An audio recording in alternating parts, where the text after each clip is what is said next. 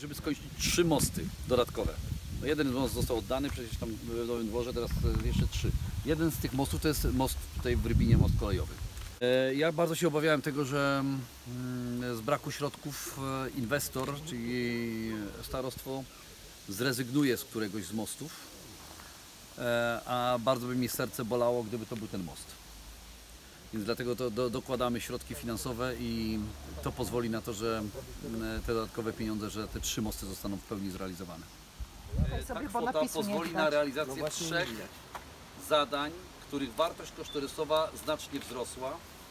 Po pierwsze most e, kolejowy w Rybinie, po drugie most e, w Żelichowie, który z- ze stałego ma być mostem podnoszonym i po trzecie e, budowa e, przystani przy starostwie powiatowym e, w, Nowym Dworze.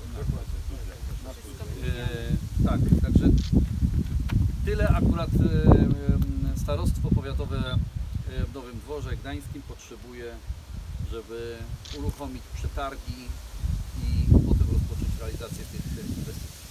Panie Marszałku, bardzo, bardzo dziękuję. Tak jak mówiłem na naszym spotkaniu, postaram się te inwestycje zrealizować jak najszybciej, tak żeby służyły społeczeństwu i również mieszkańcom naszego miasta. Czek jest pełnym pokryciem, żeby było jasne. Uchwała została przyjęta. Tak patrzę ile tu jest. Nie jest to żadna ściema. Wszystkiego dobrego i życzę powodzenia.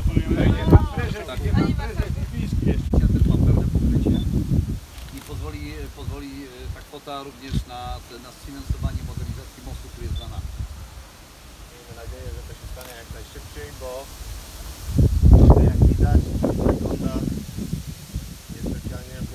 teraz tylko wszystko w rękach e, urzędników pana Sorowskiego. Przeprowadzenie postępowań przetargowych. Kiedy to się zaczęło, nie? E, bardzo No. E, W tym projekcie przewidujecie odtworzenie tego systemu, tego, te- tej mechaniki? Mechanizm będzie taki Rozumiem, sam. czyli nic tutaj nie zmieniacie. Nie, będzie taki sam. Bez, bez modernizacji, tylko po prostu odtworzenie.